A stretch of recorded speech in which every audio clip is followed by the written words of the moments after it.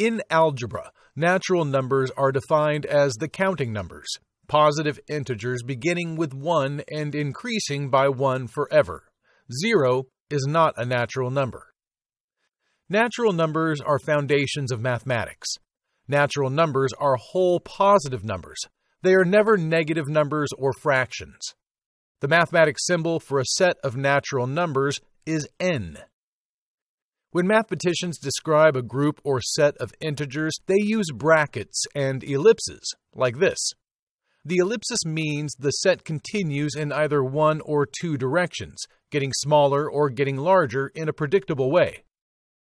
A set of natural numbers looks like this. Notice the set begins with 1, not 0. Look at your fingers.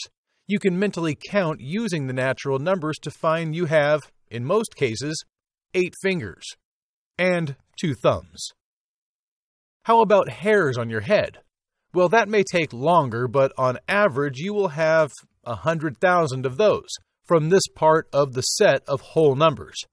When you need commas to separate periods and numbers, you replace the comma between numbers in the set with a semicolon.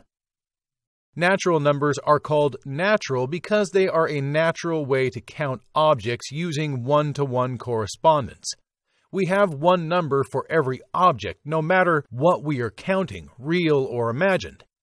Here are exactly nine countable examples. 1. Cupcakes to share. 2. Books on your shelf. 3. Ideas you thought of between 917 and 941. 4. Atoms in your body. 5. Grains of sand on the beach. 6. Number of elements on the periodic table. 7. Stars in our solar system. 8. Galaxies in the universe. 9. Atoms in all the stars of all the galaxies in the universe. In no case does the counting process of these items begin with zero, which is a problem. So, is zero a natural number? Most mathematicians, teachers, and professors consider zero a whole number but not a natural number. Some, though, do consider zero a natural number. Its use in physics, for example, allows for the zeroth law of thermodynamics.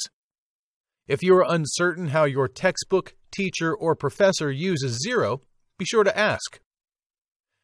Natural numbers can combine using operations. Addition adding natural numbers always yields another natural number. Subtraction. Subtracting natural numbers can result in a negative integer.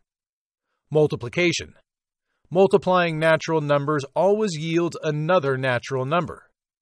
Division. Dividing natural numbers can yield decimals, fractions, or mixed numbers. Here are exactly eight challenges to see if you know your natural numbers. Pause the video and try to answer all these questions before we give you the answers. Here are the answers to these eight questions.